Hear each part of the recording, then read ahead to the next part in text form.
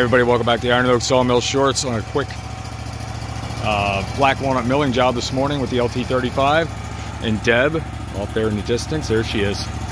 Got five logs to do this morning, all in 10 quarter slabs. Let's go ahead and get this thing rolling. But first, hey, check out these black walnut trees all over back here.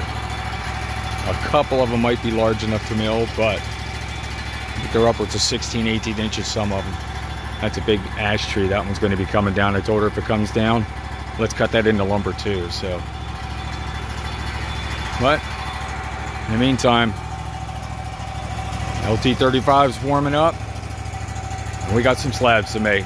Thanks everybody for stopping out for the Iron Oak Sawmill Shorts. See you at her next time.